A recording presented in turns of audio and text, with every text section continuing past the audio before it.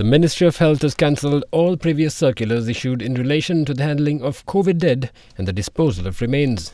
The statement explains that the decision was taken after considering the evolving knowledge, clinical practices, and management protocols of the COVID 19 virus. Accordingly, from now on, no post mortem PCR tests will be carried out, and the disposal of remains can now be done according to pre pandemic procedures. The circular has also lifted all restrictions on where remains can be buried.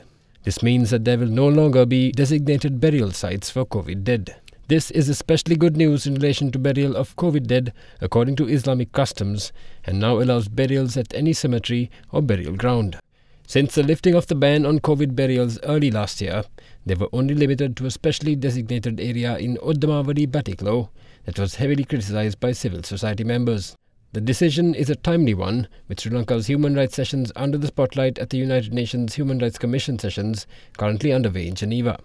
The circular, however, adds that remains should be disposed of within 24 hours of handover by hospital authorities and prohibits transportation of the remains to any other place other than the burial site. This means that remains cannot be placed at family homes or funeral parlors for public display or even embalmed.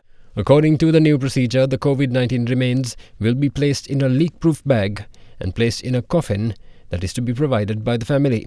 Further, the circular designates COVID deaths that occur seven days after a PCR or antigen test as normal deaths and will be handed over to relatives.